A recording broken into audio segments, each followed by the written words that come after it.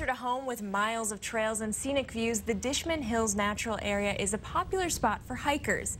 It's also become popular with vandals. When one local hiker saw trash and graffiti cluttering the trails, she reached out to us. She's worried about how people are treating that beautiful area. Our Caroline Rourke headed out to see what she could find and has some tips on how you can help.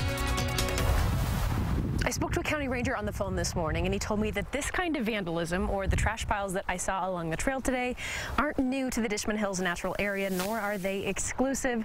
This is a problem for other parks in this area but it is a good reminder as the weather warms up and the trails start to get busier that they need you to be their eyes and ears.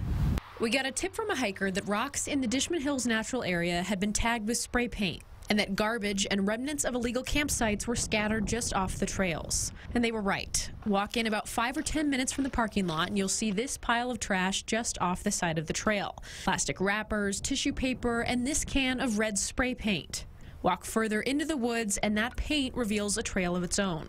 Red tag standing out on rocks and signs.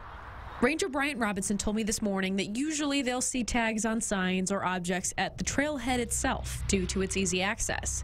And in some spots, they've started putting security cameras at those trailheads to prevent vandalism there. But this graffiti was well into the natural area.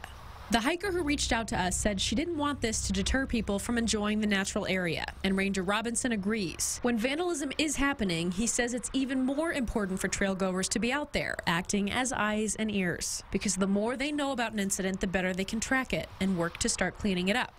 If you're out and about enjoying your walk and you see something suspicious, Robinson says call Crime Check and report what you're seeing so he or a law enforcement officer can check on it.